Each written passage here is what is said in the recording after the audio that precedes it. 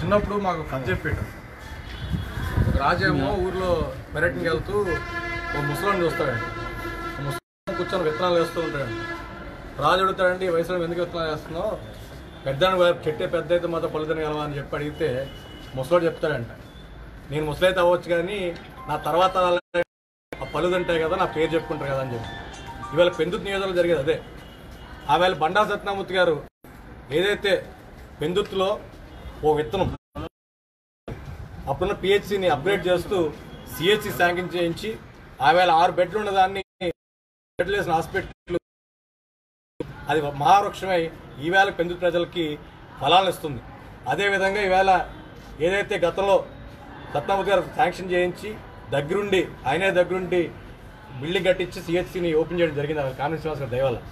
ఈవేళ అదే సిహెచ్సికి మరింత నిధులు రెండు కోట్ల అరవై నాలుగు లక్షల రూపాయలు శాంక్షన్ అవ్వడం జరిగింది ఈవేళ కాకపోతే దౌర్భాగ్యం ఏంటంటే గతంలో జనవరిలో శాంక్షన్ అయిన నిధులు ఈవేళ కూడా కార్యరూపం దాల్చట్లే.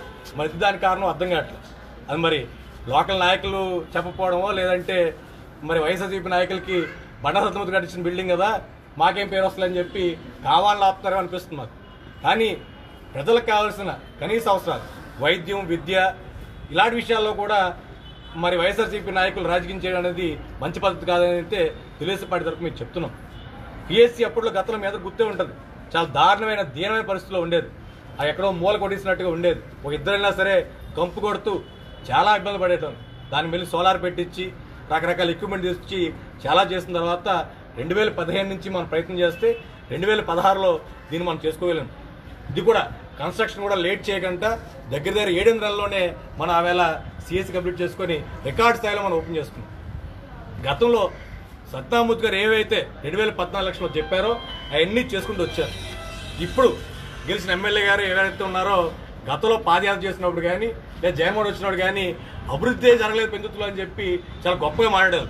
మేము అనుకున్నాం సత్నామూర్తి గారి కంట ఏవో వేల కోట్లు తీసుకొచ్చి పెంచుతులు అభివృద్ధి చేస్తారేమో అనుకున్నాం. కానీ వేళ చూస్తే ఏసిందిరా ఏసిన దగ్గరే. సత్నామూర్తి గారు ఏవైతే ఆ వేళ అభివృద్ధి కార్యక్రమాలు పెంచులో చేశారు తప్ప అవి కాకుండా కొత్తగా ఏమైనా జరిగాయా? జరిగినవి పక్కన పెట్టండి. కనీసం అభివృద్ధి కార్యక్రమాలకు మిగిలిన నిధులు ఏవైతే ఉన్నాయో అవి వచ్చితే కనీసం అవి కూడా కౌంట్ చేయని పరిస్థితిలో ఉన్నారంటే ఏమైపోతున్నట్టు? ఎమ్మెల్యే కాన్సన్ట్రేట్ చేస్తున్నారా? ఎమ్మెల్యే గారు కేవలం ఆయన పదవులు అను అనుభవించడంలో ముందో పోలీస్ జీపు వెనకాల నాలుగు కార్లు పెట్టి తప్ప ఇక్కడ పెందుతులో జరుగుతున్న అభివృద్ధి మీద అయితే ఆయన దృష్టి పెడతాడైతే మాకు ఇది అనిపించట్లేదు. ఎంత దౌర్భాగ్య పరిస్థితి అంటే గతంలో పెందుతులో నియోజకవర్గానికి ఎక్కడ ఏ విశాఖపట్నంలో ఏ పోస్ట్ వచ్చినా పెందుతులు కనుక పోస్ట్ పడేది. అలాంటిది మొన్న యాభై ఆరు ప్రెసిడెంట్లు చైర్మన్లు ఇచ్చారు బీసీ చైర్మన్లు. యాభై ఆరు చైర్మన్లకి దగ్గర దగ్గర పన్నెండు మంది డైరెక్టర్లు అంటే ఏడు వందల ముప్పై మంది పోస్టులు పడతాయి ఆంధ్ర రాష్ట్రంలో. ఇక్కడ పెందు నియోజకవర్గం ఒక పోస్టు పడలేదంటే ఈయన ఎమ్మెల్యే ఉన్నారా? అంటే ఆయన పదవి తెచ్చుకున్నారు. ఎందుకులో మాత్రం ప్రజలకు మాత్రం ఏం చేయట్లేదు. మనం చూస్తాం కాపుతంగ బిల్డింగ్ ఎంతో తెలుసు విశాఖపట్నం మొత్తానికి జిల్లాకి ఒక బిల్డింగ్ తీసుకొచ్చి మనం బెంచ్లో పెట్టుకుంటే దాన్ని కూడా సకల ఆఫీస్ పూర్తి చేయకుండా మళ్ళీ దానికి మాత్రం ఏవో వాళ్ళు పెయింట్ చేయడం మళ్ళీ ప్రయత్నం చేస్తున్నట్టు ఉన్నారు. కాబట్టి ఈ విధంగా మంచి పద్ధతి కాదు. దయచేసి ఎమ్మెల్యే గారిని మీకు ఓట్లేదని ప్రజల మీద కొంచెం కాన్సన్ట్రేట్ చేయండి. మీరు మీ సోకుల మీద మీ బిల్డప్ల మీద పెట్టే కాన్సన్ట్రేషన్ ఏదో కొంచెం ప్రజల మీద పెడితే మంచిదని తెలియజేసుకుంటూ ఇప్పటికైనా అబద్ధం మాటలు మాట్లాడకండి. ఏం మాట్లాడినా సొంత నిధులు సొంత నిధులు సొంత నిధులు కట్టేయండి హాస్పిటల్. సొంత నిధులు హాస్పిటల్ రోడ్లు. మాట్లాడితే ఫార్మాసిటీ కంపెనీల దగ్గర ఏమో డొనేషన్ తీసుకొచ్చని చెప్పి ఆయన ఒప్పుకుని ఒక కంపెనీలు ఒక దగ్గర ఏమో ఒప్పుకున్నారు. ఒక దగ్గర ఏమో అని చెప్తారు ఇది పద్ధతి కాదు. నిన్నగా మొన్న కూడా నేను ఒక ఏదో టీవీ ఇంటర్వ్యూలో చూశాను నేను. డిగ్రీ కాలేజ్ కంపల్సరీ తీసుకొస్తా అని చెప్పి ఆయన ఎలక్షన్ ముందు చెప్పారు. సత్యమూర్తి గారు చేత అవ్వలేదు నేనైతే ఇలా ఇలా తెచ్చేస్తా అని చెప్పి అది చెప్పారు మొన్నేమో అదేదో ఒక ఇంటర్వ్యూలో అడిగితే డిగ్రీ కాలేజ్ చాలా కష్టమైన పని. చాలా కాన్స్టి కాన్స్టిట్యున్సీలకి నియోజకవర్గాల గుప్పు కూడా ఒక డిగ్రీ కాలేజ్ లేదు. ముందు వాళ్ళకి ఇచ్చినాక మనకు వస్తుందని చెప్పి ఇప్పుడు చెప్తున్నారు. ఏ గతంలో సత్యమూర్తి విషయం చెప్పలేదా? ఆల్రెడీ సబ్బార్లో మనకి డిగ్రీ కాలేజ్ ఉంది. ఇప్పుడు డిగ్రీ కాలేజ్ రావడం కష్టం. ముందు మిగతా ఫేజ్లో అన్ని ఏవైతే నియోజకవర్గాలకి డిగ్రీ కాలేజీలు లేవో వాళ్ళకి వచ్చిన తర్వాత మనకు వస్తుంది నేను తీసుకొస్తానంటే ఆ వేళ చెప్తాము చేతనం అవ్వలేదు నేనే తెచ్చేద్దు అని చెప్పిన ఈయన ఇవాళ ఏం సమాధానం చెప్తున్నారు? కాబట్టి ఇప్పటికైనా ఎవరైతే మీరు రెండు వేల పద్నాలుగు ఎలక్షన్ రెండు వేల పంతొమ్మిది ఎలక్షన్ ముందు ఏవైతే పెందుతున్న ప్రజలకు చెప్పారో అది చేసి చూపించండి. ఆయన చెప్పిన మాట ఏంటి? ముప్పై సంవత్సరాల అభివృద్ధి సత్యమూర్తి ముప్పై సంవత్సరాల అభివృద్ధి మూడు సంవత్సరాలు చూపిస్తా అని చెప్పాడు. రెండో సంవత్సరం అయిపోతుందా? ఏం చూపించాడండి? చూపించమనండి. నేను సిద్ధంగా ఉన్నా. పంచగ్రామ సమస్య మీద ఆయనకున్న అవగాహనతో లేదంటే విశాఖపట్నం మన విద్యుత్ నియోజకవర్గంలో అభివృద్ధి మీద ఆయనకున్న అవగాహనతో ఓ డిబేట్ పెట్టుకుందాం. ఏ టీవీ ఛానల్ చెప్తారో లేదంటే ఎక్కడ చెప్తారో రమ్మనండి. మాకున్న నాలెడ్జ్ ఏంటో ఆయనకున్న నాలెడ్జ్ ఏంటో తేలిపోద్ది. ఫేస్బుక్లో ఫోటోలు పెట్టడం లేదా దుమ్ముగురితో తిట్టించడం అది కాదండి. మీరు చేయాల్సింది ఇదిగో సత్తామూర్తి గారు వెయ్యి కోట్లు తీసుకొచ్చారు విద్యుత్ నియోజకవర్గానికి నీ ఎంత తీసుకొచ్చా? చూపించండి. దాంట్లో పోటీ పడడం తప్ప మమ్మల్ని బూతులు తిట్టించడానికి మమ్మల్ని సోషల్ మీడియాలో వేరే వేరే మాటలు పెట్టడానికి అది గొప్ప రాదండి. వచ్చే ఎలక్షన్లో గత ఎలక్షన్ అంటే ఛాన్స్ ఇవ్వండి చూపిస్తా అని చెప్పారు. వచ్చే ఎలక్షన్ ఉండదు సత్తామూర్తి గారి కంటే నేను ఎంతో బాగా చేశాను.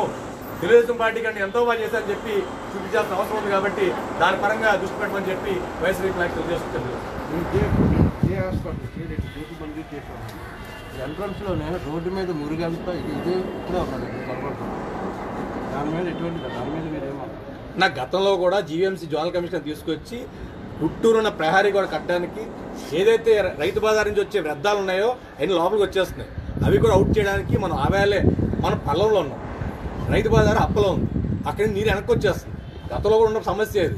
పోలీస్ స్టేషన్లో కూడా మనం అప్పుడు ఇలా కాంపౌండర్ పెట్టేస్తుంటే అవి కమిషనర్ గారితో స- నాన్నగారు ఎక్కడే గొడవ పడ్డాం మీ అందరూ గుర్తు ఉంటుంది.